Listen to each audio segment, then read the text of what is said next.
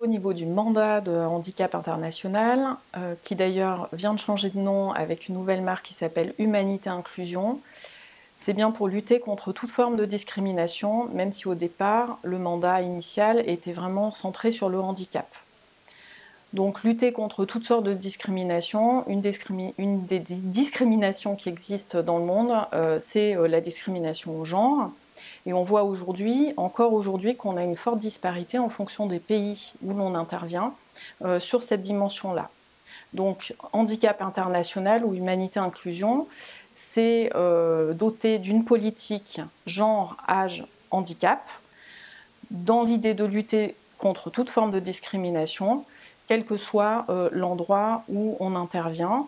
Évidemment, cette politique euh, est également appliquée au niveau des ressources humaines en tant qu'employeur, puisqu'autant s'appliquer à soi-même ce qu'on l'on demande d'appliquer chez les autres. Nous avons d'abord une politique genre, âge, handicap qui regroupe donc l'ensemble des thématiques chères à notre mandat.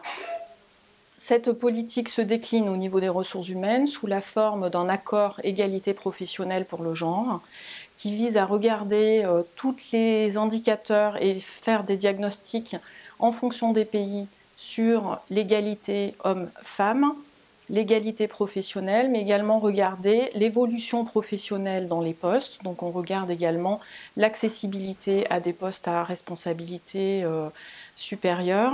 Et on regarde également un autre indicateur qui est euh, l'écart de rémunération qu'on peut avoir selon les niveaux et selon l'ancienneté entre les hommes et les femmes, de manière à veiller à ce que chacun euh, soit traité avec équité au sens RH du terme. Donc ça, c'est euh, notre accord diversité. On a d'autres mesures dans cet accord qui, par exemple, visent à renforcer l'inégalité qui pourrait y avoir pour les femmes euh, ayant un congé maternité ou ayant un enfant et qui donc provoquent une absence prolongée euh, dans le cadre du travail pour éviter qu'elles ne soient discriminées au retour de leur congé maternité.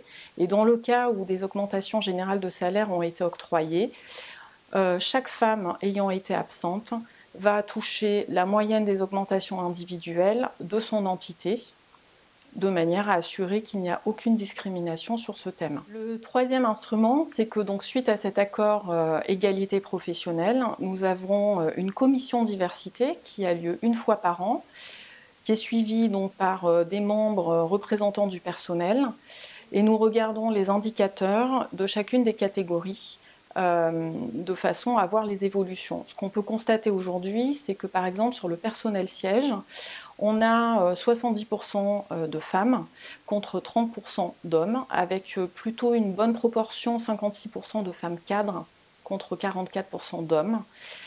sur le terrain et dans nos pays d'intervention, donc les chiffres sont plutôt inversés. Le personnel international est très équilibré que ce soit à tous les niveaux hiérarchiques et dans globalement tous les pays.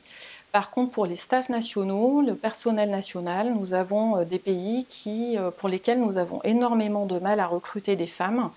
Et ces rapports annuels nous permettent de scruter et de piloter, monitorer nos politiques en local de manière à renforcer euh, la promotion euh, et l'accessibilité aux postes euh, de femmes, si euh, tel est le cas. On peut citer par exemple l'exemple du Mali, où aujourd'hui on sait qu'on a énormément de soucis pour recruter des femmes.